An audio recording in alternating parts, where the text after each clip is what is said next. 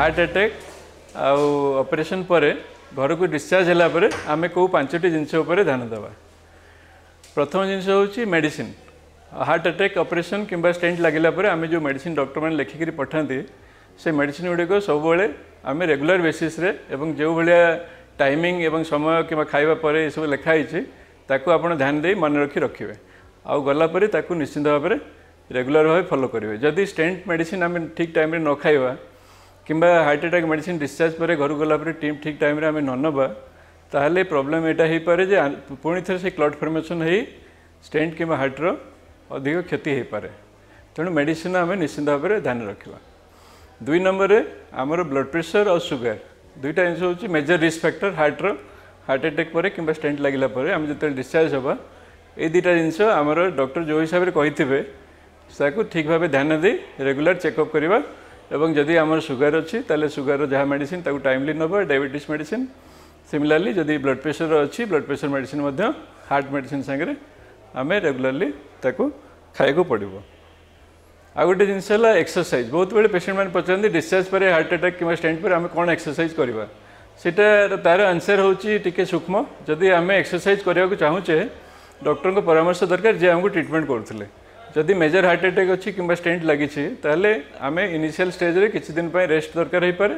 তাপরে graded exercise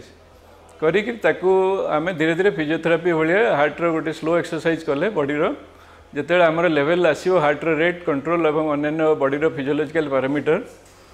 proper exercise লেভেলକୁ ଆସିବ ତାପରେ ଆମେ ଏକ୍ସରସାଇଜଟା ବଢ଼େଇକରି ଫୁଲ୍ ଏକ୍ସରସାଇଜ ଲେଭେଲକୁ ଯିବା ତେଣୁ ସେଇ ଜିନିଷଟା ଆମେ ଡକ୍ଟରଙ୍କ ପରାମର୍ଶ ହିସାବରେ କରିବା ଆମେ କେତେ ପରିମାଣ ଏକ୍ସରସାଇଜ କରିପାରିବା ଆମ ଦେହକୁ କେତିକି ସୁଟ୍ କରିବ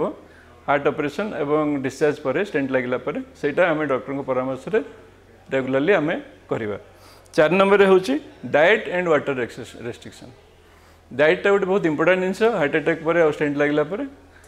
ଆମର ଯଦି ଯେଉଁ ପ୍ରକାର ଖାଦ୍ୟ ଯେମିତି ତେଲ ଜିନିଷ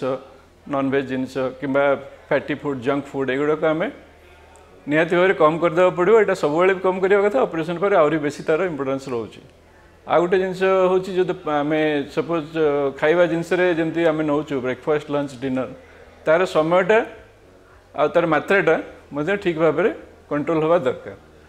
ଆଉ ଡିନରଟା ସବୁବେଳେ ଟିକେ ଲାଇଟ୍ ହେବା କଥା ଏବଂ ଅତି ଲେଟ୍ରେ ରାତିରେ ଆମେ ଖାଇବାଟା ଉଚିତ ନୁହେଁ ପୋଷ୍ଟ ପାଣ୍ଡିଆଲ ଯେଉଁଟା ଆମେ ଲେଟ୍ ଡିନର ଯେଉଁଟା କଲେ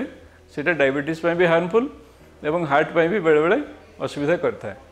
ତେଣୁ ଆମେ ଏଇ ଜିନିଷଟାକୁ ସବୁବେଳେ ଟିକେ ଧ୍ୟାନ ଦେବା ଯେ କାହିଁକି ଆମେ ଯେଉଁ ପାଣି ବି ପିଉଛେ ପାଣିର ବି ଗୋଟେ ମାତ୍ରା ଅଛି ହାର୍ଟର ସେଇଟା ମଧ୍ୟ ଡକ୍ଟରଙ୍କ ପରାମର୍ଶରେ କରାଯାଏ ଯଦି ହାର୍ଟ ଫେଲର ଅଛି ବହୁତ ପରିମାଣରେ ହାର୍ଟର ୱିକନେସ୍ ଅଛି ତାହେଲେ ପାଣି କମ୍ କରାଯାଏ ସାଧାରଣତଃ ଆମେ ଅଢ଼େଇ ଲିଟର ପର୍ଯ୍ୟନ୍ତ ଅଢ଼େଇରୁ ତିନି ଲିଟର ପର୍ଯ୍ୟନ୍ତ ଜଣେ ଲୋକ ଦିନରେ ପାଣି ନେଇପାରିବେ ଲିକ୍ୱିଡ଼ ପର୍ସନ୍ସ ପାଣି ଏବଂ ଅନ୍ୟାନ୍ୟ ସବୁ ଲିକ୍ୱିଡ଼ ମିଶାଇକରି କିନ୍ତୁ ସେଇଟା ଡକ୍ଟରଙ୍କ ପରାମର୍ଶ ହିସାବରେ ଆମେ କରିବାଟା ଉଚିତ ଆଉ ଗୋଟେ ଜିନିଷ ହେଲା ଯେ ରେଗୁଲାର ଫଲୋଅପ୍ ଏବେ ଆମର ହାର୍ଟ ଅପରେସନ୍ ହେଇଗଲା ଷ୍ଟେଣ୍ଟ ଲାଗିଲା ଆମେ ଡିସଚାର୍ଜ ହେଇଗଲେ କିନ୍ତୁ ତା ମାତ୍ରା ମାନେ ନୁହେଁ ଯେ ଆମେ କମ୍ପ୍ଲିଟଲି ଆମର ହାର୍ଟ ପୂର୍ବାବସ୍ଥାକୁ ଫେରି ଆସିଲା ତେଣୁ ଆମକୁ ଯାହା ଯାହା ମେଡ଼ିସିନ୍ ଲେଖିଛନ୍ତି ଯେଉଁ ସମୟରେ ଆମେ ଡକ୍ଟରଙ୍କୁ ଦେଖା କରିବାକୁ କହିଛନ୍ତି ଆମେ ରେଗୁଲାରଲି ଡକ୍ଟରଙ୍କୁ ମିଟ୍ କଲେ ଏବଂ ତା'ର ଟ୍ରିଟମେଣ୍ଟଟାକୁ ଫଲୋ ଅପ୍ରେ ମେଡ଼ିସିନ୍ ଠିକ୍ ଟାଇମ୍ରେ ଚେଞ୍ଜ କଲେ ଆମକୁ